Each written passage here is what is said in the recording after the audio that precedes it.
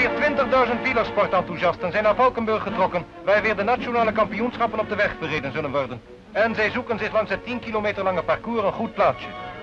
Er heerst een gemoedelijke sfeer die altijd aan zo'n wedstrijd vooraf gaat. Maar dat zal direct wel anders worden.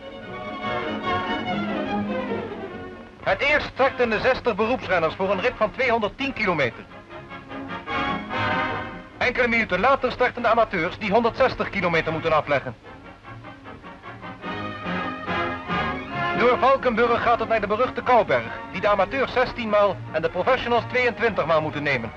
Op geen enkele wereldkaart zult u de Kouberg kunnen vinden. Maar dat hij er is, daarvan weten de renners mee te praten. Zo'n beklimming eist kracht en onverzettelijke wil. De snelle afdaling vergt van de renners het uiterste aan behendigheid en durf.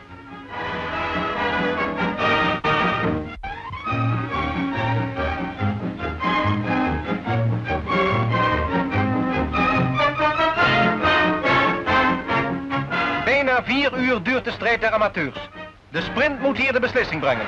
Het is de West-Brabander Wachtmans die zijn naam op de erelijst weet te zetten.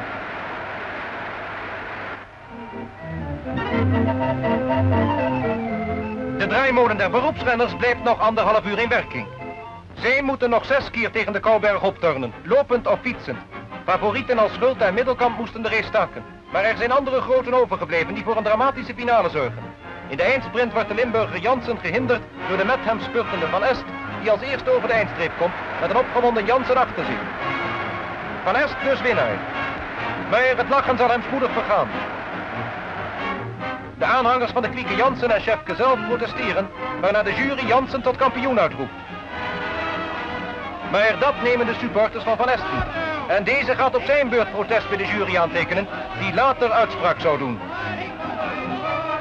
Ieder geval, toen wij de Kouberg verlieten, glimlachte Chefke Jansen.